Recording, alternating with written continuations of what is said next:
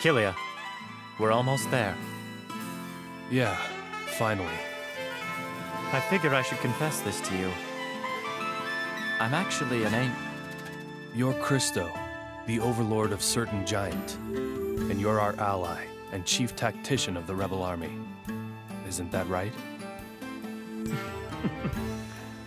I am no match for you, Killia. Thanks to you, my sense of values has completely decayed. Without a doubt, you've shattered my stereotype of demons. Maybe our values differ, but demon or angel, there's no difference in the amount our hearts value our allies.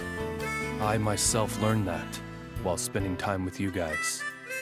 There's no difference in the amount our hearts value our allies, whether we be demon or angel. I was betrayed by my colleagues in Solet. I mean, certain giant. They framed me for being a spy for Void Dark.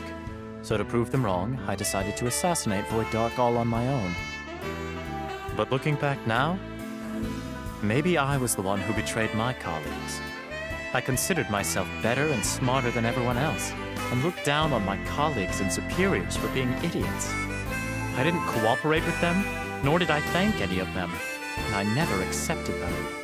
I guess it's not surprising that my colleagues disapproved of my behavior and accused me of espionage. Christo, I learned a lot of things after coming to this world.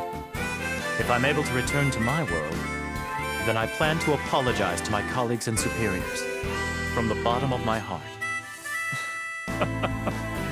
I don't know why I'm talking about this to someone. As expected of you, Killia. You're a demon that's not to be underestimated. Please pretend like you didn't hear any of that. Will you promise me? yeah, of course. I promise.